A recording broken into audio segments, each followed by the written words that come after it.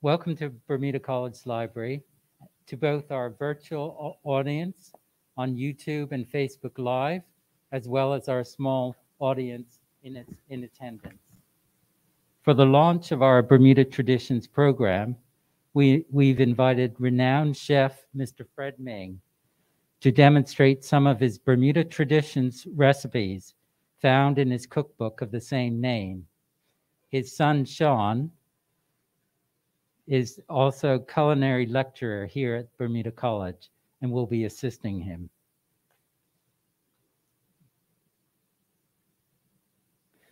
Mr. Fred Ming worked as a culinary lecture, lecturer and also deputy head of Bermuda College in the hospital, hospitality department. He was first born Bermudian to be employed by the department. Chef Ming got his educational experience in London, England, with the help of Neil Hansford Smith, who was in charge of the hotel school in Prospect. He made the arrangements for Mr. Ming to attend Ealing Technical College to do the culinary program 152, which is the highest one you could obtain in the culinary field. He also arranged for Chef Ming to do his practical at the world famous Savoy Hotel in London. He was the first black chef to be employed there. After completing his technical, practical, and th- theory courses, he came back to teach at Prospect. When Bermuda College commenced in 1974, the college made plans for a combined college, and the Stonington campus was selected. Chef Ming is considered one of Bermuda's renowned chefs. During his time at the college, he had the honor to meet the Queen of England, Princess Margaret, and several other dignitaries. Chef Ming also trained five college students to participate in several culinary competitions, but the highest was when the students each received a gold medal in the Taste of the Caribbean contest. In 2002, Mr. Ming was awarded the Member of the Order of the British Empire, MBE. With all of these achievements he, he's accomplished, he wishes to thank his wife, Dr. Charlotte Ming, who has assisted him along the, along the way. Chef Ming is a member of the following inst- institutions He's a fellow of the Cookery and Food Association of London, the Institute of Supervisory Management of London, the American Culinary Federation, and a past president of St. George's Rotary. I have the distinct pleasure to introduce to you Mr. Fred Ming, chef extraordinaire. Thank you very much. Well, after all of that, folks, I just had to put the icing on the cake. But this is the Ming night, father and son. But as he said, I worked there several years, but now I also uh, have my son that's followed in my footsteps. Um, you probably perused through your menu already. Um, what we're going to do, take this step by step. We're going to sort of like um, um have soup I'm going to talk about it, and then we're going to have some students that will come around and give you a cupful. Okay. And then after that, I'll be demonstrating on the chicken how to cut it up and talk about that. And then they would also give you a chicken and some rice on a plate for you to taste. Then my son Sean would tackle the uh, noodles. And then after that, they will give you a taste of that and then, of course, to put the icing on the cake, we just talk about um, the actual, pardon me, the salts. Now, when it comes down to soups, basically, anything can make up a soup, right? Most of you, when you cook vegetables, you may throw that liquid down the sink, but that could be considered as a vegetable stock. And when you you can save that Basically, if, if you live by yourself or whatever the case may be, or just one or two, you can put it in small containers. But one convenient thing I find is that if you take your ice tray and pour your liquid into your ice tray, and once that sets, you can also crack it and put it into a bag and store it. So you only can take out one or two containers rather than freezing something all solid like that, and you only need a couple of spoonfuls. You got to throw out the whole entire uh, contents. And of course, making stock is easy also. Uh, like this particular soup has chicken in it, so you get the chicken, the liquid from that, it will become what you call chicken stock. But today, you know, the whole world has changed a lot. Uh, what I mean is that you can get little cubes of chicken. You can get fish cubes. You can get beef cubes. And you find these out like not here to advertise, but price right. And of course, in the marketplace, they have certain things too. But one of the problems is just that don't think that the more you put in, you get a lot of flavor. They can get a bit of salt too. So you have to be very careful in terms of like not putting salt and, and adding that to it also itself. Um, but like I said, that a soup can be made out of for anything. If you got stuff left over in your fridge, make it up, and that's your your way of doing things. You find that one of the factors, like uh, we made soups Christmas time, was always the barley soup. But then again, you don't put the whole package in there because you end up like a pilaf, you know, less liquid but a solid. That turkey um, rack, obviously, uh, you can boil that down and make a nice, beautiful stock from that. And you could go on and on. Um, also, um, again, the liquid, if you got too much liquid, you can um, store that too. But tonight we have uh, corn and chicken uh, soup. And of course, uh, corn uh, niblets and corn, cream corn. Uh, what we've done is sweated on some onions and celery, and then, of course, add some stock to that, and then the other liquids uh, like uh, the stock and so forth. And of course, um, what we're going to do now is to get the students down there to uh, put up some soup for you uh, to taste. And then after they you taste the soups, then of course we're going to go on and uh, I would be cutting up a chicken so that um, you uh, can have an idea. So if you're really like uh, having a nice dinner, uh, well, you don't have to be that fancy. I mean, but uh, having a nice bowl, something like that, there to for your guests, and of course, um, everybody can take the time and uh, um, eat it. Of course, when my wife and I used to entertain, and I would say this is one thing though, if you're entertaining, you find yourself stuck in the kitchen rather being out there having a glass of wine with your guests. But I was kind of fortunate to say because I used to hire students to come in, show them what I want to done, and then it be to be out there with my staff. Because to hire some people to come in just for a few minutes or so, um, it can be expensive to some extent. But it's it's it's really nice though if you can um, arrange things or maybe put them uh, put it like a buffet, a simple buffet or something like that, so everybody can pick whatever they want. You know, this is the one way of um, doing things. Um, so um, we let the soup come around, and um, um, we can get into like tasting that. Okay, and of course, all I can say that everything tonight is only going to have one adjective that is scrumptious. Okay, soon as the uh, soups come around, uh, Sean, can you get me some cups down here, please? Because I told us guys to get that soup good early. I've got some here I can put in the cups.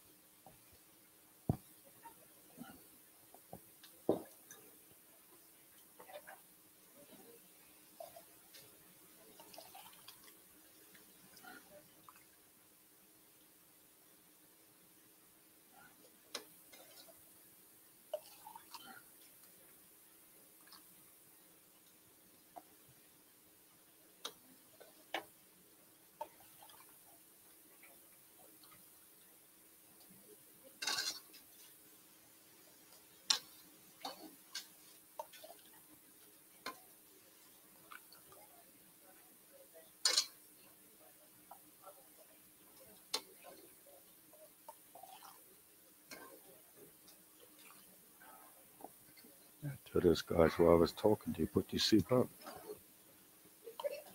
Mm.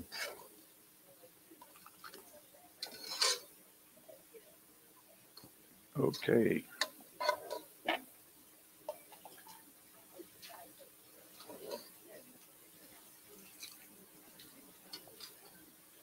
All right.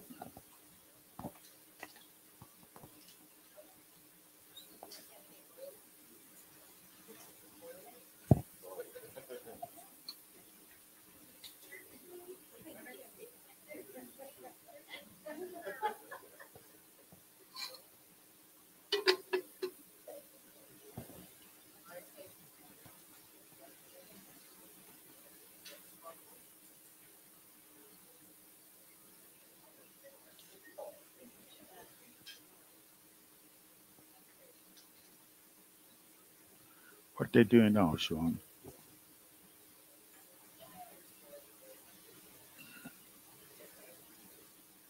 Mm.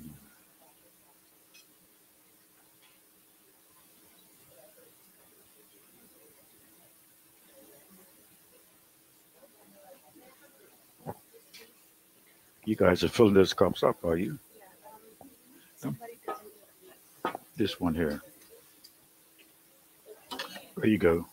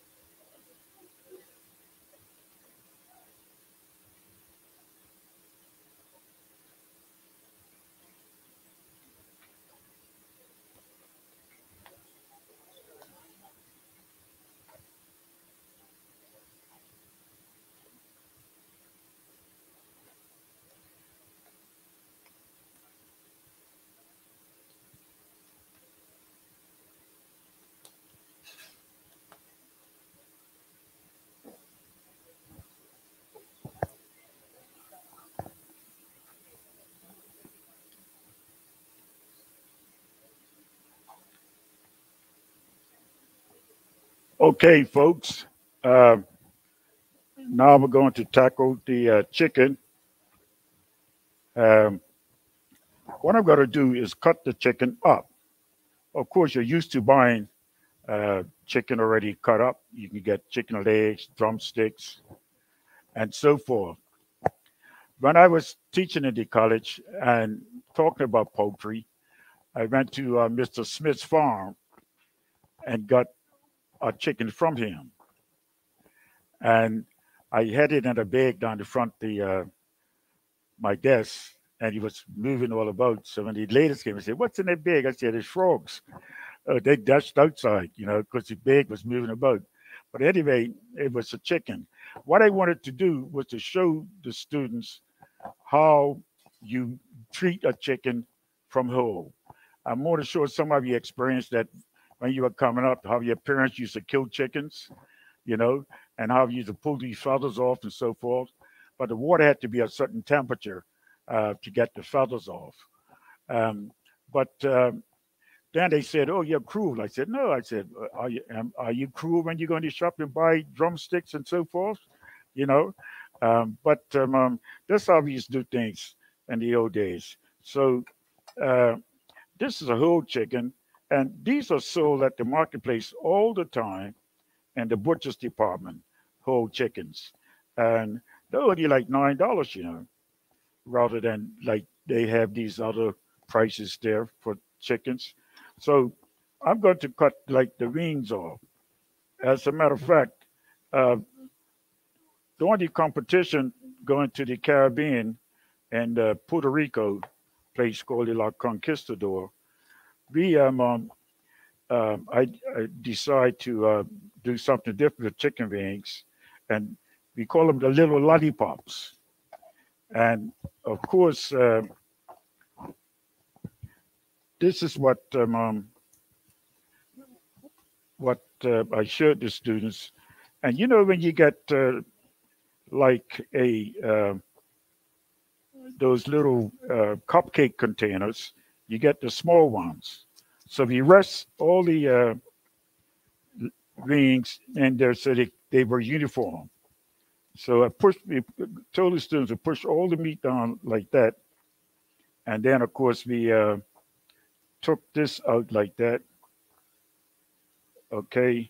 And I cut them um, one bone out. And this is what we had, what we call like the little lollipop. And this was one of the things that um, um, uh, was won that competition. Maybe won uh, like a goal uh, also. Now, cutting up the chicken, of course, uh, you would take the legs off first. Now, Christmas time, when I cook a turkey, I normally take my legs off. Well, the breast is the white meat, and that sometimes can get dry because the legs are what you call the dark meat. But what I do really is that take the leg off, I take this bone out, and that's where I put my stuffing. So then you, and then I just roll it up. So then you have your dark meat and your stuffing right inside that. And then, of course, you can just roast the breasts to a certain temperature and not to get dry. Although you get some turkeys like Norbests and stuff has the little marker that pops up. But you can have your own uh, thermometer also. Um, okay, so I'm just going to um, um, again just take the legs off. So a chicken like this really uh, feeds like uh, four people. Uh, you get, for instance, like four pieces of the dark meat, which I'm going to divide that later on. And then, of course, this is like the breast, but I'm not, I'm just going to cut uh, down three on the side here. And of course, the breast is like where they make like uh, chicken a la Kiev and things of that nature. Uh, you can, um, you know, do something like that yourself, really. Uh, you can buy just uh, chicken breasts and um, do it up. But uh, there's a different way in, in sort of doing things.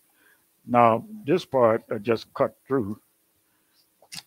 And this is the carcass that's left over. And the old days when they had like, you don't see much of that civil service.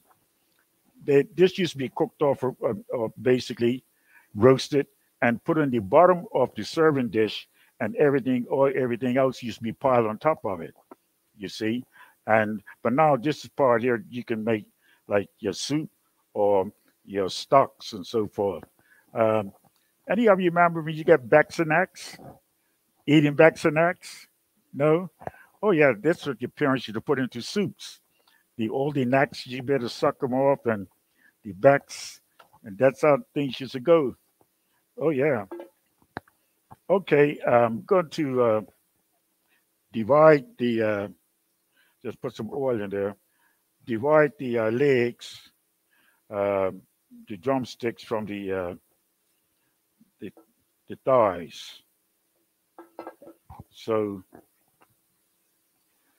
and then you can also like um, um, take the knuckle off if you want to, but you can catch your joint there and just divide that in half.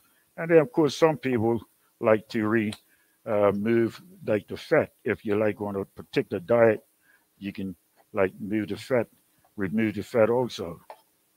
And then, of course, you get so you have four pieces of, of white meat and four pieces of the uh, dark meat.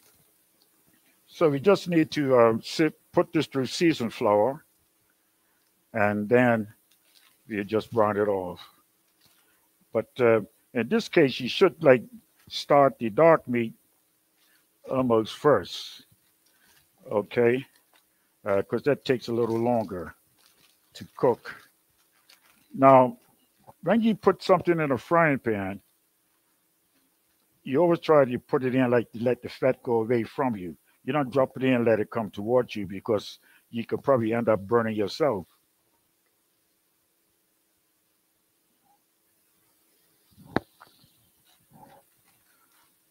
Okay, so we're going to uh,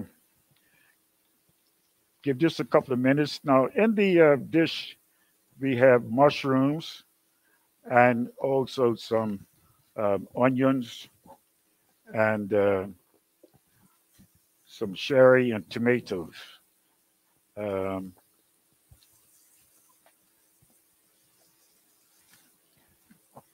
now, you can have like when mangoes are out, fresh mangoes, you can make up a nice sauce um, out of mangoes also, or just roast the chicken off, cut it up, and put some slices of mango on it.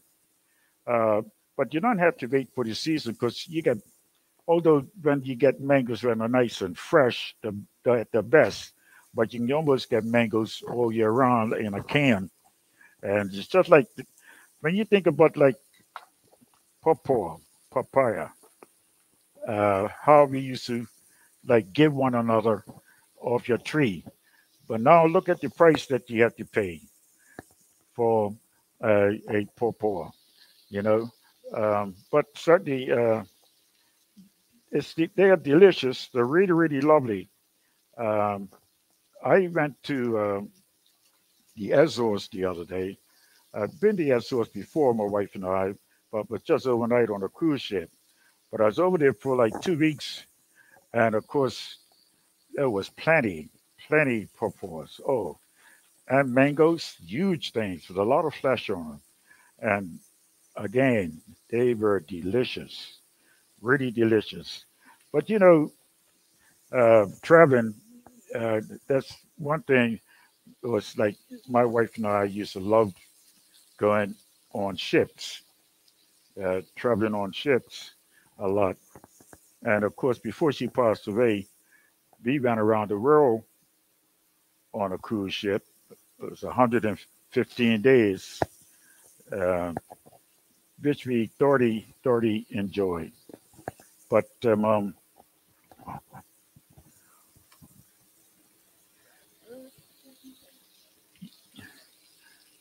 it was um, um, it was a great trip. Yeah, we thoroughly enjoyed it. But you know the funniest thing, that folks who have money, they still know all the tricks. Uh, now, the minks, when you go ashore, if you like gin or vodka, take ashore your empty water bottle and fill it up. oh boy. I said, man, these folks, is, this is something else. But when I go to, on those cruise ships, I always get to meet the chefs and, of course, uh, food and beverage. And also, like the captain, give them a cookbook. So that's when my wife used to say, oh, you're something else. They're sending all this wine and champagne down to your room. And I said, well, it's for both of us. But um, um, now I go on cruise ships to demonstrate, just demonstrating basically. Um, I had several trips supposed to go on, but because of the virus, uh, things are not uh, going to shop. Last Christmas, not two Christmas ago, before the virus came up, I was on a ship left Dubai, uh, went down to Cape Town, 30 days and I was able to do a demonstration with the chefs. And then a cruise director was a lady. She said, Mr. Ming, you got a lovely voice. I'd like for you to do the Christmas church service. Would you do that? I said, okay. I found some words to say. But then, of course, um, um, the ladies was up and saying, Mr. Ming, we thought you was a chef, but you're a preacher also. I said, no. Well, it was a way of life that we all came up we had to go to church and things like that. We couldn't argue with what our parents, uh, but uh, that was, you know, a thing that's been done. Okay. Uh,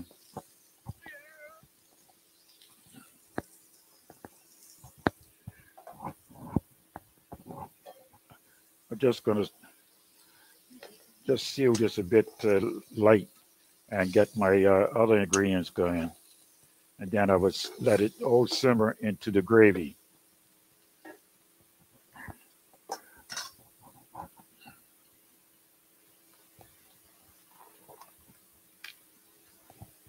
It's bitter. margarine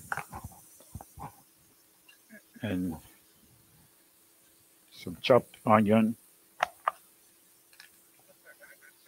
and of course uh, some uh, uh, rosemary. A lot of people, when they come to Bermuda, they get excited to see rosemary green wine. But you, you amazing, like all the old timers, is you use a lot of that stuff. And I know when I used to go down to my grandmother's a lot, how they used to make herb tea. That's how some of the old timers live a long life. That's what they survive off and it was never an even number. They told me it was always three, five, or seven odd numbers. As a matter of fact, going down to my granny's a lot. Uh, that's why I started to write cookbooks because they used to write little things on a piece of paper and put in the drawer. You know, a lot of recipes uh, people had was like, or they say that a lot of ideas are going to the graveyard. Uh, but that's what how I I decided. I said, let me come up with a, a cookbook and um, um, have something that is going to be in memory of people. And I used to go down there with my mom because my aunt Emma used to do a lot of uh, side catering. And uh, it's amazing. I guess some of you folks probably, some, I'm not too sure what you guys do, but some of the old timers still soak the raisins in rum at the beginning of the year. And uh, my brother and I used to go down to Aunt Emma's, and because she used to make a lot of fruit cake and plain cake, and we used to have to cut up the raisins with a pair of scissors. Just still there chopping them like that. But now, you know, you can put them in your blender or just give them a little hint, just breaking them up a bit. And then they then they soak them to put a little hot water so that they swell. And then of course the uh, the black rum. And of course when I was catering, used to get all kinds of concepts. Oh, Mr. Ming, I don't want no rum in my cake. I don't want this here. I don't want that. You know. Uh, but uh, so that's to give the flavor. Yeah. And then of course, uh, if you want to get your cake, you know, pretty good color. They used to put a little gravy, gravy browning into it to give it that little dark flavor. Um, but obviously, uh, a nice fruit cake is the essence. And uh, my uncle Reggie, he used to uh, make cake out for Alma Parcivet, and he used to have a lot of requests for the silver and gold cakes, and that is very expensive. Those leaves, you just put a little water, take a little bowl, and pat it on, and of course, um, um, that gives the appearance. But you do not put that cake in front of air condition because it would just blow all off. Oh yeah, it would disappear. Yeah, because it's very and that stuff is very expensive. Okay, I just put some sherry in there. Uh, that is very expensive, but um, um that's what um, um, they used to uh, uh, do. And of course, you know, if you got your money, you can pay for something like that because it's like I said, it's time consuming but very expensive. It's what causes the uh, gold and the silver. Like in the Phoenix and that's Phoenix, they used to um, um, sell that stuff also. Um, but uh, you should buy so many sheets. Uh, this is tomato concasse, tomato, chopped tomato is going to go in here. Okay. And uh, so this has been fresh tomatoes that have been blanched to take the skin off. Once you you can blanch tomatoes in a bit of hot water, then you put in cold water, and uh, just peel the skin right off. Uh, but you know that's something you don't have to really really do. When I worked at the Savoy in London, uh, they used to cook. We used to cook almost cook the order. Uh, but really, I, I, was working on the sauce section, and that's the important section that's in a uh, hotel. And when you have like a thousand people, you have what you call a party system. Doesn't mean that I'm involved at cooking everything. You have a party system like all the entrees in one section, all the soups are made by another department, all the vegetables are made by another uh, department and, and so forth. Um, but um, and then we used to have a, chef that used to be there nights. Uh, he was uh, actually uh, taking care of stock. Used to like babysit, like skim all the fat off the stock and so forth.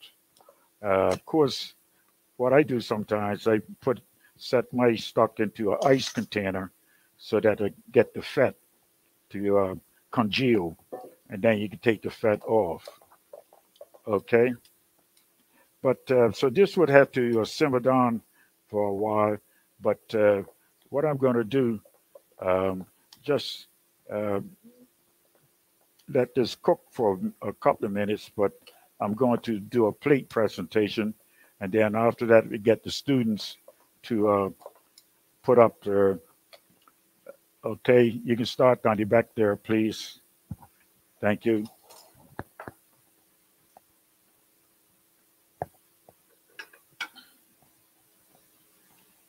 So we're going to serve rice with this uh, dish. And uh, some rice there like that and uh,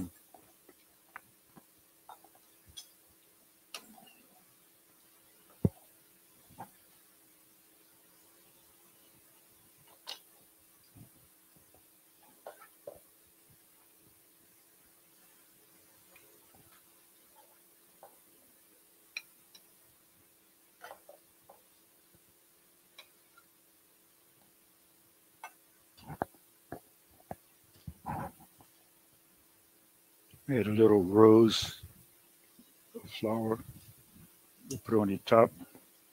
And since it's got rosemary in it, I just take a piece of rosemary and stick that in there like that. And uh,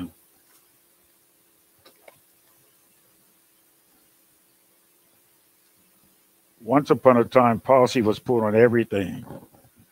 But now it's since it was so abused, uh, doesn't go like that anymore. Okay, so that's how you can have uh, nice um, um, chicken dish uh, with your rice and of course using the uh, um, herbs in it. And um, um, uh, so you should be getting a sample uh, of rice along with the uh,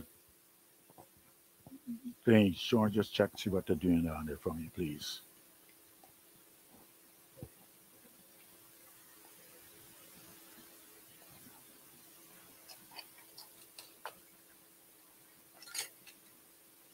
I used to do a lot of uh, night classes there also.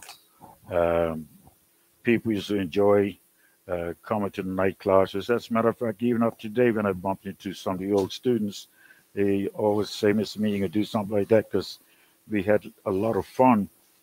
It was supposed to be when I did a dish one week, they do it the next week. But he said, no, no, you, you do all the cooking and just give us the recipes and let us taste the stuff. And well, it was a lot of folks that uh, actually uh, like business people, you know, always entertaining or take uh, going out for dinner or having a meal in house. Um, but um, um, it was fun. Uh, I thought he um, um enjoyed myself. Um, I pulled some tricks on him one night. It was Halloween night, and I was cutting up this chicken, but in the sink, I had put some uh, red coloring. And when I was cutting it up and I put my hand in the sink, I said, Oh, I cut myself. They all dashed up. Can we take you to the hospital? Can we take you to the hospital? But when I got in the hallway, I said, Look, I, I, that's not real. I, I was just, yeah. But um, um, yeah, the days going by when we used to cut up the rooster or the chickens and stuff and get chicken eggs. Uh, you don't get to see like the eggs now with a double yolk in them like you used to. You know, that used to be a big thing, basically, eggs with double double yolks. Um, but every household was always like has a chicken or so uh, for Sundays. Your Sunday roast, your chicken, because most people, I guess, miss the lamb now because of the price you got to pay for it. And um, of course, like the English always had the roast beef, but even that price is, is, is gone up. And of course, they had like Yorkshire pudding with it and roast potatoes and things of that nature. Um, when we lived in England, of course, uh, we one of the things I liked about in England was that if you wanted just two slices of ham, you can get buy two slices of ham from the uh, butcher, and and things of the day, a half a cucumber. But when we was setting up shop, was like you know when you first get married, how you set up shop. Well, we didn't realize that we went to the market wife said, "Oh, get one those potatoes. Where you want to put them, lady, in your pocketbook?" Well, we didn't know you had to take your own bags. In those days, yeah, you had to take your own bags to your mom uh, for shopping. Well, when it came down to Good Friday, I was at the Savoy this night, and I came home. She said, "Darling, I didn't understand it. I've been del- battling with this hot cross buns for a long time, and it doesn't seem to be rising, coming up." So you went over everything, detail, detail, check this out, check that out. And of course, uh, then I said, You sure you got the right flour? Yes. Well, you know, one thing in England, you can buy all kinds of flour. And she made the mistake, she bought self raisin flour. Now, self raisin flour already has a raisin agent in it. And when you put more yeast to it, it, it combines, it just kills it. So that's why the, the, the buns wasn't like coming out. And uh, but over the you can get Yorkshire um, uh, mixture. Anyway, you know, put this to the side, and of course, uh, just clean it away here a bit, and then of course, uh, once you get your taste buds going, um, we would um, get my son Sean to start uh, dish. But in cooking, is we use a term called mise en place. Mise en place means the basic preparation prior to cooking. You get everything in front of you before you cook. Oh, I forgot something. I got to reach up the cabinet, but my hands are dirty. That's how the knobs on your doors get all dirt on it because you got to reach up there to get something. but everything is organized. That's how you start the cooking. Add this and add that and and so forth. And um, um and then of course like wait to like um, um it goes down. Um, you can have like a spoon with a little water uh, to taste your product to see how it is and you know if it meets your approval. One thing um, you find a lot of people does this when they eat, they reach for the salt and pepper shaker all the time before you even tasting the food to see whether it's tasty enough with that salt. Adding more sodium is not, you know, all that all that um, um, kosher, but that's what some people do. Or even like when they're having a cup of tea, four sugars into, you know, like they're making lemonade. but um, oh yeah, those are the things that um you you know you look out for. But uh, I guess um, buffets are always a big thing uh, of people attend because it has such a variety of foods there that meets with like your approval. Now, if you get on the cruise ship, of course, you get some people ask some dopey questions. What time does the midnight buffet start? Obviously, it's midnight, isn't it? but um, yeah, you get all kinds of things that goes down. But um, I think um, um, the main thing is to enjoy yourself. Yeah, we went to uh, Easter Island, and uh, and of course that's where all those statues are. Uh, rather strange how they got there, though. Um, I've taken students down to Australia and um oh, up to Canada to compete in competitions. And the thing is that um, when students are training, um, I used to try to get them to discipline themselves. Oh, Mr. Ming, I can't come tonight. I said, if you can't come for practice tonight, then you're not going at all. You know, um, but you have to organize yourself basically um, and discipline yourself. And when you see the end results, how this looks, how that goes together, does this match? Um, it's like in the days gone by, when your parents plated your food, you find that the rice or the starch was on one side, the meat was on another side, and of course, um, you find that the um, uh, the vegetables on another side. There was no unification. Okay, it should have been like together, and it's central located, and that way you find that the um, unification the plate it looks much better. When it's separated, it looks like a divorce on the plate. But uni, unity does um, um, take it to such an extent. Okay. Um, but anyway, um, so you got the rice pilaf and, and your chicken.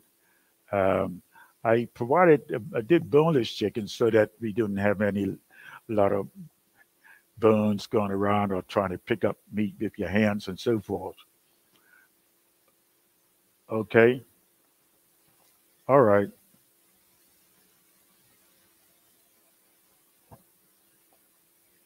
So once we get that sorted out, folks, and then um, my son Sean will take over. Uh, while you're eating that, um, you can probably start. Uh, um,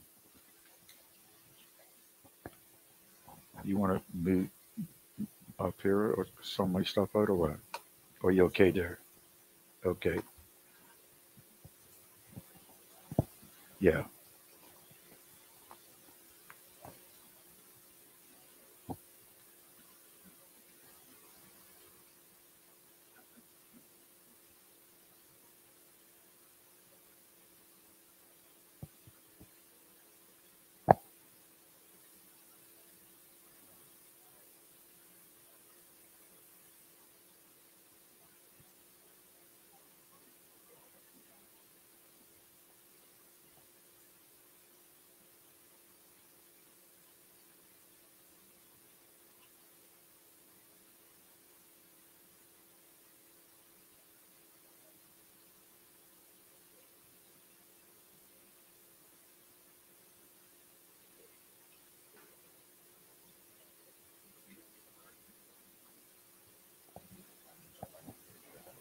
Okay.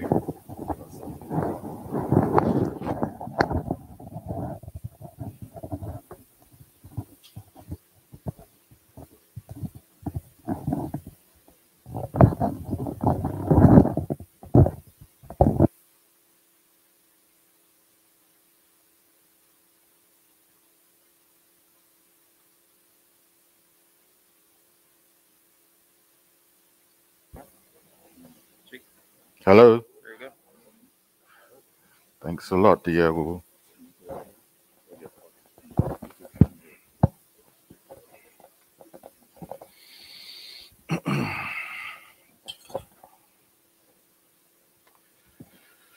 Okay, good evening, everybody. Like my dad said, um, mise en place. Mise en place is very important. Um, mise en place is a French term, and um, literally translated from French to English, it means put in place. Put in place. So, fortunately for myself, my dad um, brought up brought all the ingredients that I need. I'm just removing the lids so I can move through this very quickly. This is a very quick dish, doesn't take very long, and it's quite an easy dish. Um, this is what is referred to. I tell my students all the time that this is what is referred to as physical mise en place. Physical mise en place. Um, that's having all of your ingredients in place and your utensils and equipment that you're going to use. But I always try to emphasize to my students that there's a such thing as mental mise en place as well. What this means is that you, before you even turn on your fire, before you even start cooking, you want to read through your method. Okay, a recipe is, all, is divided into two categories: your list of ingredients and your method. So um, the mise en place means that you know what you're doing from start right up to finish, right up into putting the food on the plate, and that's very important. And students come to me all the time and ask me a lot of questions, and I can tell that they haven't read the method from beginning to end. Sometimes they ask me, are my onions cut correctly? Are my peppers diced correctly? And um, they would have all the mise en place in front of them. And um, it looks really nice. The parents would be so proud of them. Everything is so neatly diced and everything. But somewhere down in step number six, it says place all the ingredients in the pot into a blender. Blender doesn't care how neatly you with me. That's what I mean by having a mental mise en place. Yeah, I mean we need to make sure that things are diced evenly and so forth because um, it gives a uniform presentation and also things cook evenly. However, like I said, a blender doesn't really care. So that's why it's good to have a mental mise en place as well. No.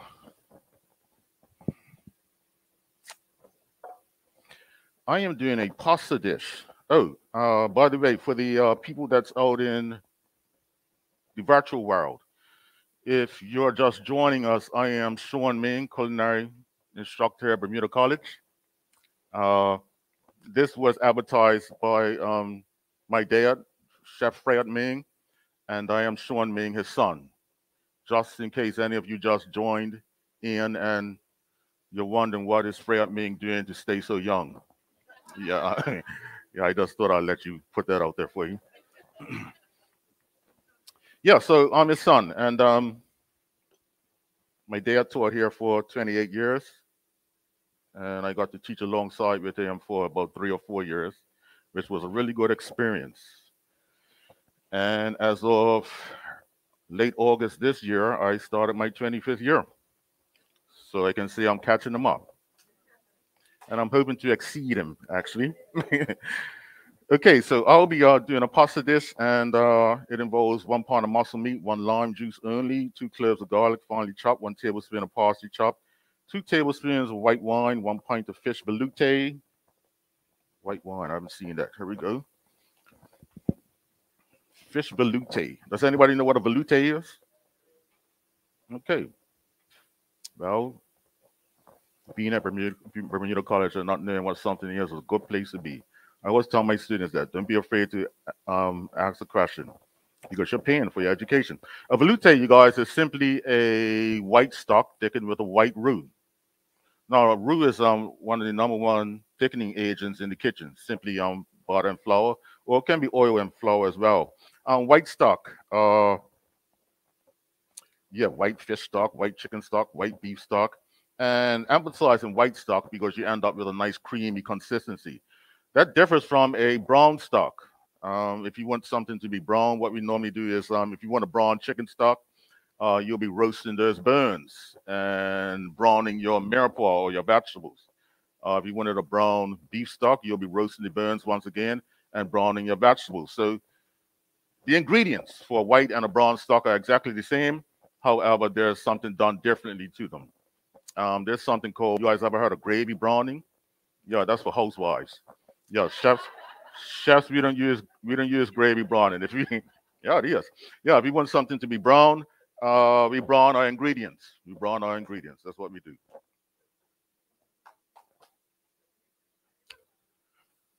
Okay, here we go. Now it starts off by saying cook noodles in boiling salted water for 10 to 12 minutes until al dente. Does anybody know what al dente means? What does it mean? Not too soft, very firm. Yeah, I like that, Lisa. Yeah. Um, and you guys have a problem with your teeth, you go to the dentist, right? Al dente is an Italian term that literally translated from Italian to English means to tooth or with a bit of bite to it. Yeah. So um it shouldn't be soft and mushy. It shouldn't be soft and mushy. And um when I got married, my wife and I um we actually went to Italy for our honeymoon. And um these people were taking al dente, I think, a bit too far. Yeah. Seemed like the um pasta was almost like just been blanched, was like undercooked. Yeah, was undercooked. Um, if the pasta, when you're eating the pasta and it's sticking in your back teeth, what we know of as our wisdom tooth teeth, yeah, it's, it's undercooked. Yeah. I was like, yeah, these people are taking this al dente stuff a bit too far. And I notice um when I eat out and I eat over other people's houses and things of that nature that um to be honest with you, I, I think I've come to the conclusion that Bermudians really aren't into al dente. Yeah, they just cook the pasta until it's ready cooked. Yeah, ready to eat. Yeah. so uh yeah, so fortunately you guys, um because pasta can take about uh three to ten minutes, um, depending on the type of pasta that you have. Um, my dad showed up with the um, pasta already cooked. So under the method says cook noodles in boiling salty water for 10 to 12 minutes until al dente. Um, you guys ever heard of people putting oil in, in, your, in your water when you're cooking your pasta? You guys heard of that before? Oh, you guys are sharp, man. Yeah, um, that does work. It does work. Um, what? Why do they do it? Anybody know why they do it? You got it. It prevents the pasta from sticking to each other and to and fr from sticking to the equipment. Yes, and you and normally um when you're cooking pasta, pasta is very something very simple to cook because um lots of water. I always tell my students 10 parts water, one part pasta. Actually, on the course that I'm teaching right now, um, my student back there can verify I just finished two weeks of vegetable and starch cookery. And um, this week, my students were actually making fresh, fresh pasta. Every student had to make a batch of fresh pasta. And um, they, I, I, can honestly say, when I, uh, first, my first introduction to fresh pasta when I was at the Culinary Institute of America, I was instantly converted. You know, I was instantly converted. And my students were quite surprised because um, you guys are probably used to going to the marketplace lenders and buying that dry stuff. But yeah, if you actually make it fresh yourself, yeah, you guys trust me. Check it out. Um, so let me start. You guys are here to see a cooking demonstration, right?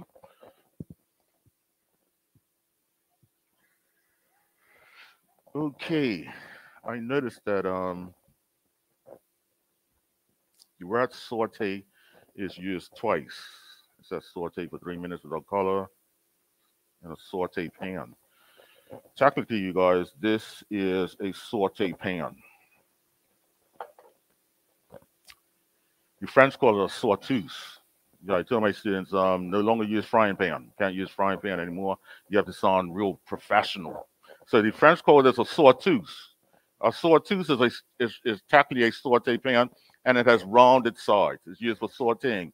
A pan of this nature is called a sautoir. A sautoir has straight sides.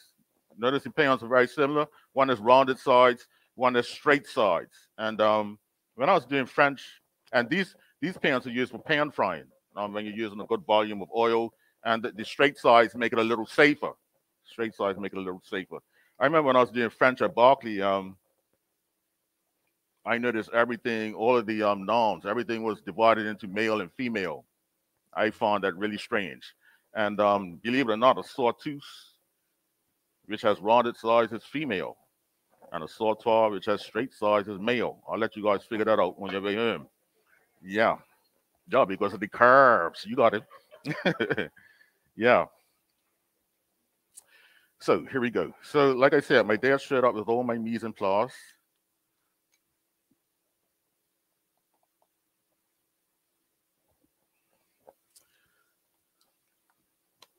And the reason why I like a sautoir, I mean a sauteuse, you guys, for sauteing. Um, you remember I said I said I thought the French were a little strange, dividing everything up into male and female. But um, to some degree, we even do that here in Bermuda without really knowing that we're doing it. Like um, if Mr. Lyndon Jackson showed up with a nice bike that had a nice, really spray jaw and chrome parts, you'll say, Lyndon, she's looking nice, man. She's looking nice. You with me? You wouldn't say his looking nice. You with me? So we we kind of do that in here in Bermuda, but without really knowing that we're doing it. Yeah.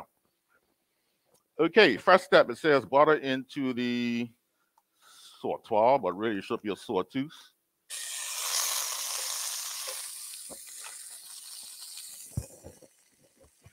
One thing I, I would honestly say I would probably prefer to uh, use a sauteuse because I am sauteing. So I added my butter onto the um, pan. Now I'm going to add my, my dad has the um, onion and garlic mixed together. Do you guys know what the word saute means? Anybody know what saute means? Lightly fried. No, believe it or not, you guys, the word saute means to jump. It means jump.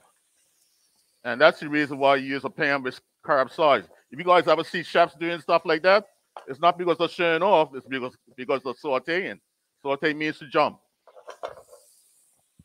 So you guys, you guys are learning stuff today, man. Let's do it. I feel good about that.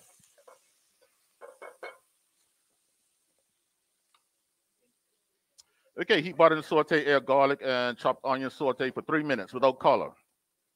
So I'm gonna make. Usually, a lot of uh, recipes would say um saute onion and garlic until translucent. You guys ever heard that term before? You guys know what translucent means? Um, I wouldn't use the word clear. Um, yeah, the um, English dictionary, Webster Dictionary says uh, not quite transparent, but emitting light. Yeah. So you see this container, you guys see how you can see my hands through this container? This container is translucent, but it isn't transparent. Yeah, it emits light. You can see stuff through it.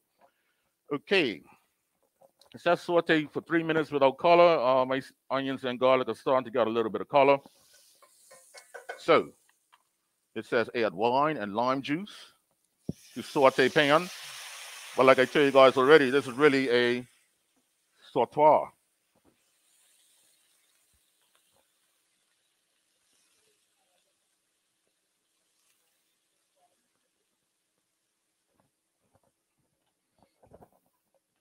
So when you guys go home um, from now on, um, when you have your rounded frying pans, start talking about a sauteuse.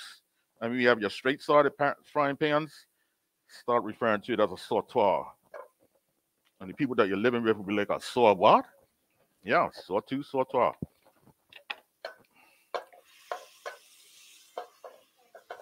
So you guys, I did say I'm making a pasta dish, and uh, what group of people in this world come to mind when you hear about pasta?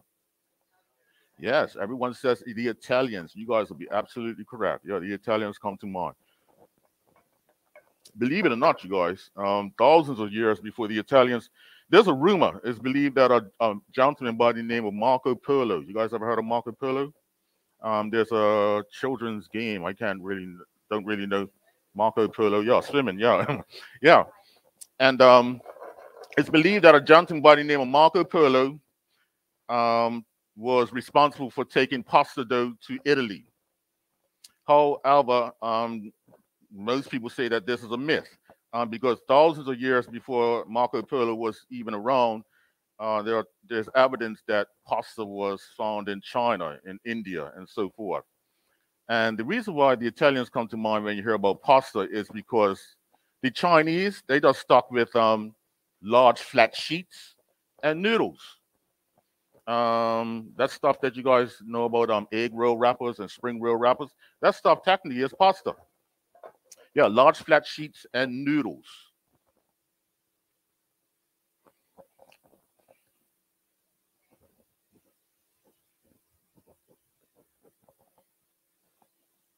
This is the fish velouté, right?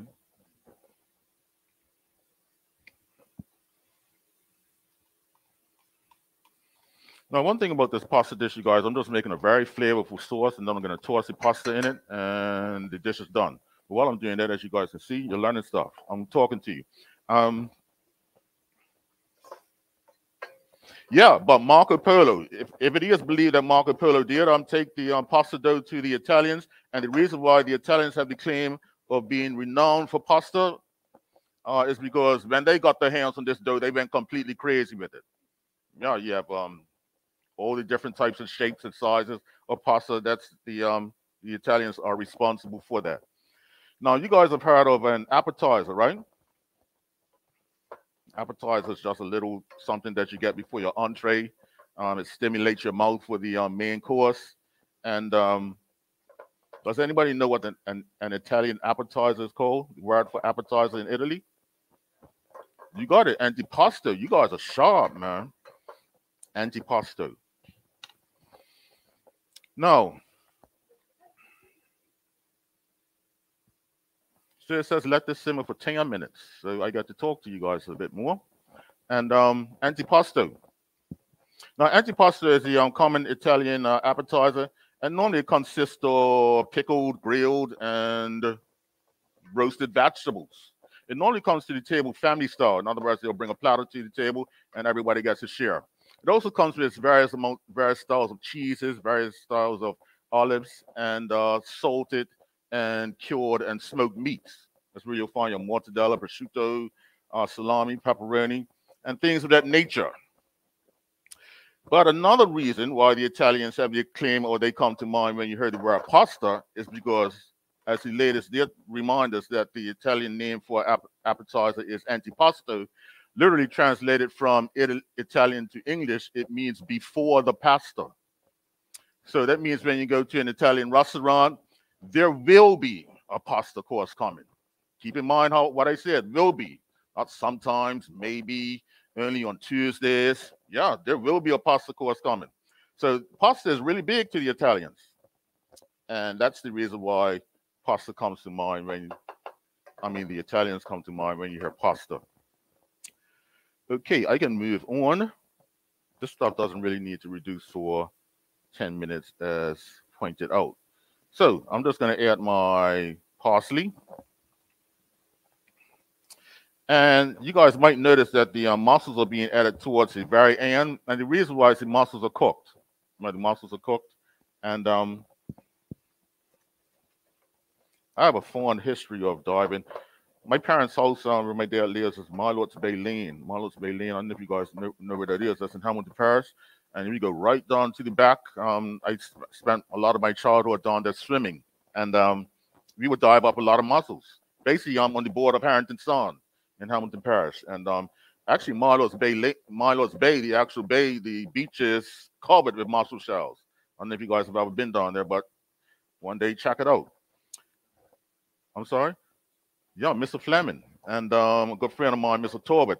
I think the uh, mussel fishermen in, in Bermuda are disappearing, or maybe can't even say disappeared. Yeah, I don't think anyone's really um, harvesting mussels from our waters.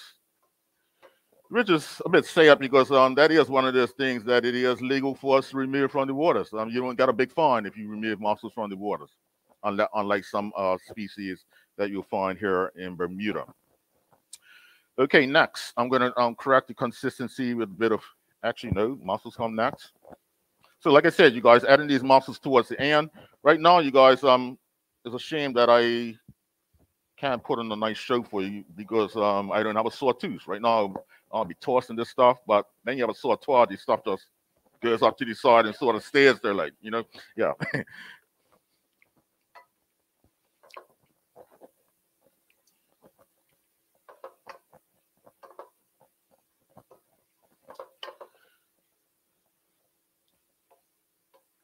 So my mother and my mother um always told her children that uh if you really want to my mother's one of Bermuda's um well-known educators, as my dad, and um she told her children, they have three children. I have a uh, I'm in the middle, I have a younger sister and an older brother. And she told her children that um if you ever want a good job in, in Bermuda, become a teacher.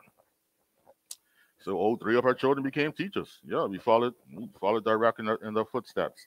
And my mother took that a little further. She said, uh, if you really want a good life in Bermuda, to marry a teacher. But none of us three did that. but um, as you can see, my dad has always been talking about um going on cruises and stuff like that. And yeah, then my parents they cruise all over the world and and because if you marry a teacher, then school's out at Christmas time, they're both off, and you could and you vacation together. And when school's out in summertime, they're both off. And so, as young fellas, we got to take a lot of cruises all around the world and things of that nature. And um, especially my brother and I, when we became 16 and 18 of that age, my parents were summer during the summer um, vacation. They would ask us what we like to go on a cruise with us with them, and we'd be like, no. Yeah, we were we were fine to just it was like vacation for us to be at home by ourselves and have them going. Sorry about that there, but yeah, that's how it was. okay, next thing, you guys, I actually add a bit of heavy cream to this. Like I tell you guys, anybody can make this um, dish at home. And one thing, um, people have been making lots of money off of pasta for years. Pasta is quite economical. Um, most restaurants they may have a little pasta section, and you might notice that um, it's much more economical or cheaper than the other items on the um, menu. But people have been making uh, lots of lots of money out of just flour and water for years, which that's what pasta really is. Um, some most pastas are enriched with a bit of egg. It's not mandatory that it be, but most pastas are enriched with a bit of egg, and um, very enjoyable. One thing about pasta, um, it can really fill up your belly and give you that feeling of satiation, that feeling of being full, and um, quite enjoyable. It's right, very versatile too. Um, we have uh, mussels in this one, but you can put any type of meat, veal, chicken, lobster, and obviously uh, many styles of vegetarian pasta as well. No, this pasta is ready.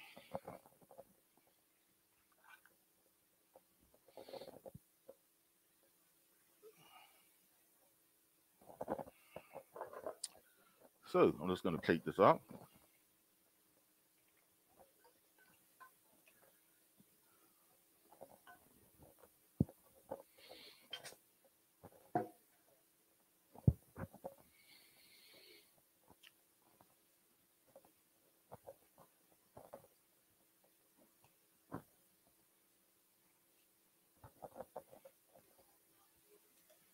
Unfortunately, Unfortunately, um, my dad didn't bring any parmesan, but you are right. That's right. One of the number one cheeses that goes with pasta. Just a little pepper and spring onion garnish in the center with a bit of dill.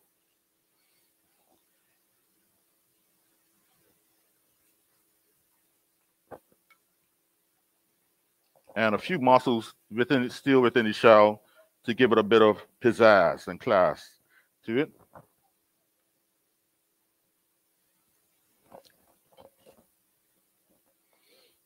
And there you have it, ladies and gentlemen. Thank you very much.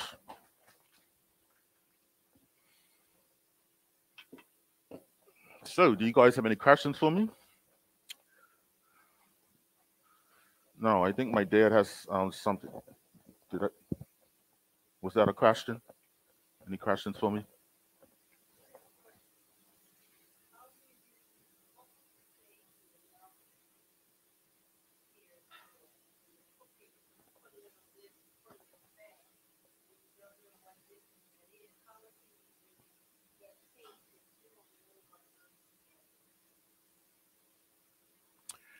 Yeah, that's a very good question. A little bit of this and a little bit of that. Um, to be honest with you, um, when I cook, and I, and I, I used to marvel at my dad um, when I was a young fella. He was, especially when he's baking cakes and pastries and stuff like that, it's just throwing stuff into the mixer. And to be honest with you, um, I I just I just can't bring myself to, to follow a recipe. I just can't do it. Yeah, I'm. Yeah, if you call if you call me over to your house and say here's the recipe, I'm I'm leaving. yeah, I, I, just can't bring myself to follow a recipe. Um, I and I think a lot of what it is um also is because um chefs keep some of the secrets to themselves. Yeah, I mean, you, you have to keep in mind that the goal of the chef is to make money, and um, we don't want people.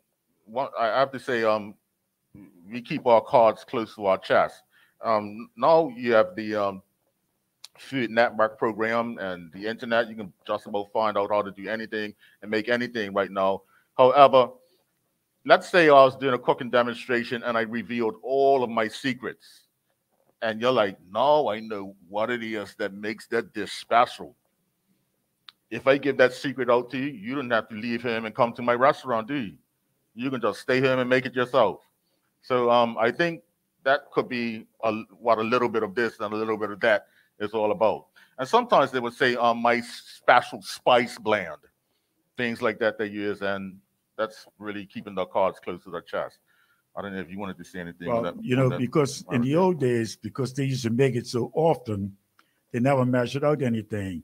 It used to be a cup of this, a cup of that, or a pinch of this. I used to tell my granny, I said, well, your fingers are real big. You're talking about a pinch. But that's how they used to do things. And, and I used to look there, but it still turned out perfect just by having to stop there because they made it over and over they just got conditioned to the actual sort of portions of whatever the case may be. Then, of course, now you, you, you got to be careful.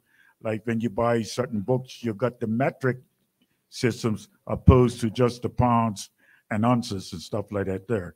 And then, of course, you also find that the uh, the standard cups are not all the same either. You get different cups that are like a normal cup is like about 12 ounces. You get the others that can be a little larger. And of course, a cup and a mug is not the same. It's totally different. But you find that um, um, even baking, you know, some people want to get things done in a hurry and they set the oven up too high, basically. But like um, my mom and my aunt Amber, when they were doing cakes, they always put like a pan of water on the bottom of the oven so it creates steam and moisture so that the cakes um, um itself don't um, get burnt. But uh, you remember the days, I'm not too sure during your time, but how these take um, a piece of the broom, the sticks from the broom, and stick it into the cakes to see whether they were done or whatever the case may be.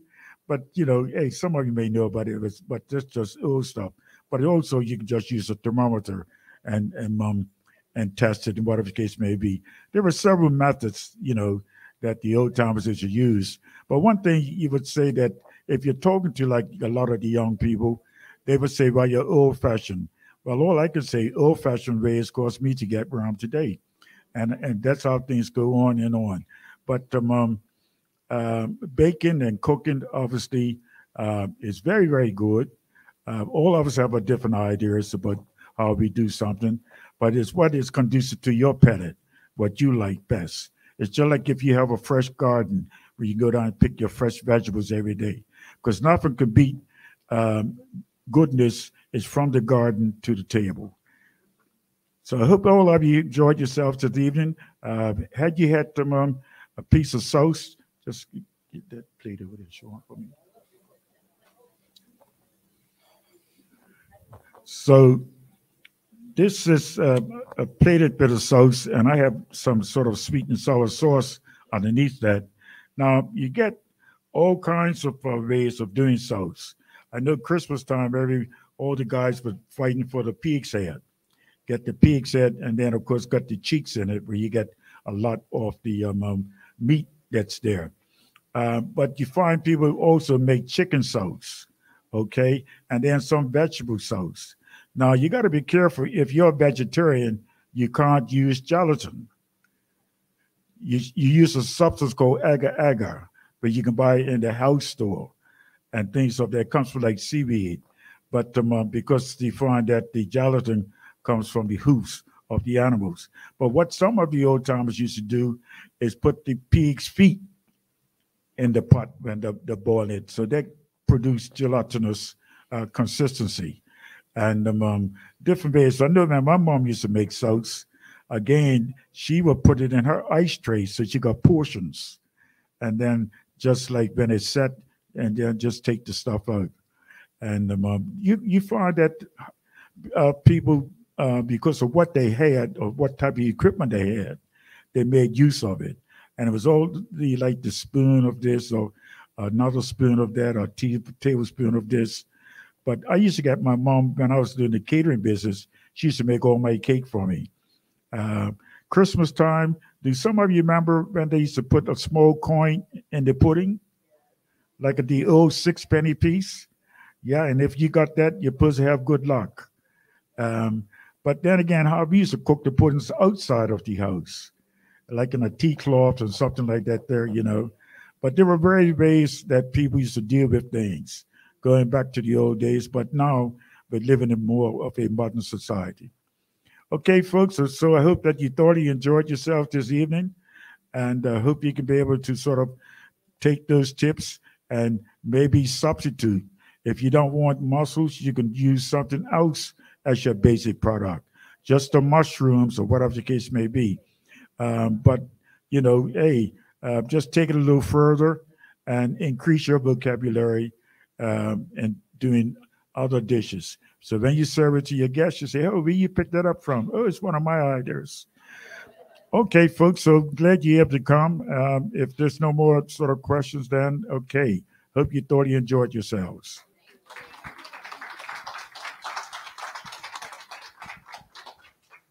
I wanted to thank everyone for coming this evening, and I wanted to especially thank the uh, people who served and uh, the two culinary students, Gideon Wedden and Kush Bell.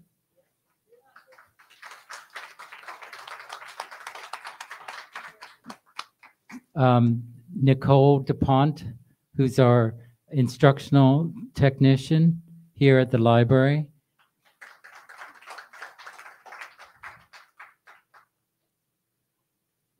Panya Rattery, who helped serve, and especially to Shelley Riley, my administrative assistant who organized this event.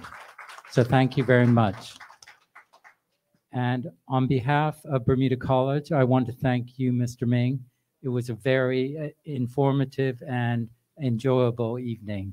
So this is just a little token of our appreciation. And Sean, thank you very much. No problem, Robert. it was a pleasure cooking for you guys as well. Um, you guys were a very good audience. I appreciate that. Yeah.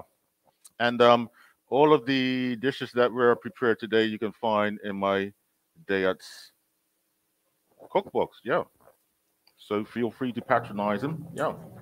And also, I just want to thank the people from IT, Diago. Um, thank you very much for coming out this evening.